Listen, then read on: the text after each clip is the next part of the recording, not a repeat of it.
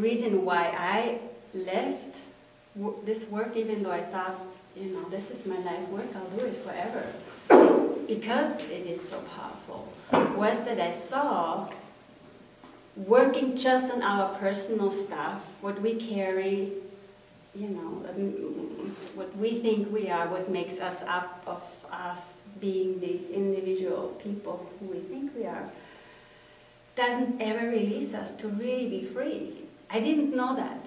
I just saw that one day.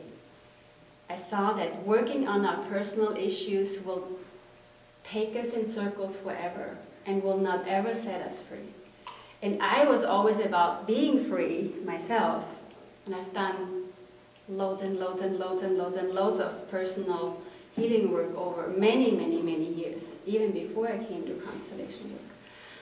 And I thought the more you work on yourself, you know, the deeper you release stuff and work on stuff, you eventually be free. And that one day I saw that's not ever going to get us free.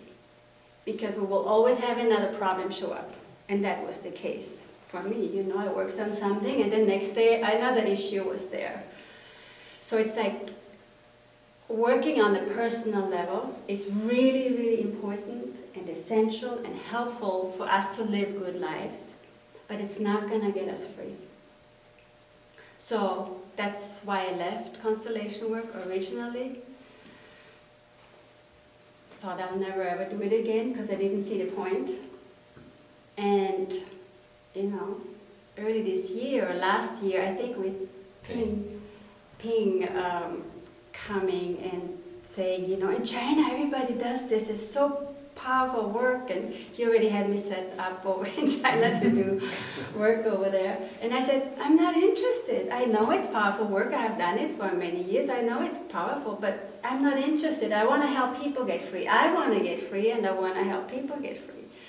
So we did a constellation, two constellations for them in, you know, to help in their personal life with something, which is, you know, which is fine. There's no problem with doing that. But those people who participated, interestingly enough, had shifts happen that were kind of assisting in the waking up process. And I was thinking, hmm, that's interesting.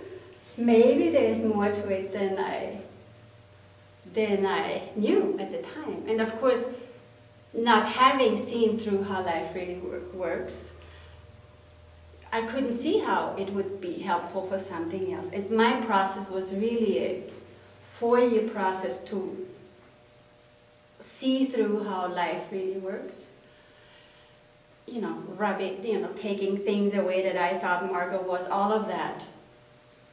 And then living for four years from no self, no longer having this structured belief system of who and what I am.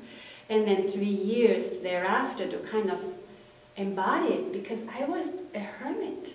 You know, I was a traveling hermit living in third world countries on my own, you know, isolated. So how do you then live this in the Western world and in a relationship? You know, it's like a whole lot of stuff then surfaced from there. So, this is an exploration. I don't know quite how it's gonna really work with the awakening, with setting us free. I have a sense, and I'll explain that throughout the day of what's necessary and how constellation work is helpful for this and what you can take home with practicing and integrating this or other healing work that you may be doing, how to incorporate in a way that gets you free.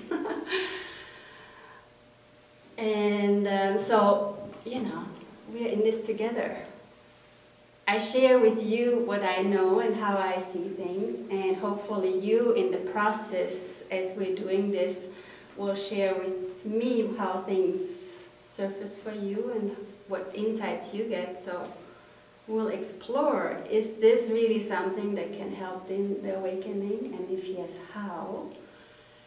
And if how, how can we speed it up? Can we speed it up? And if yes, then how? And, you know, so you are all an integral part in this. I just happen to know this system, so that's why I'm sitting here. But you know, I'm, I'm, mm, I'm there with you, right, at the same place.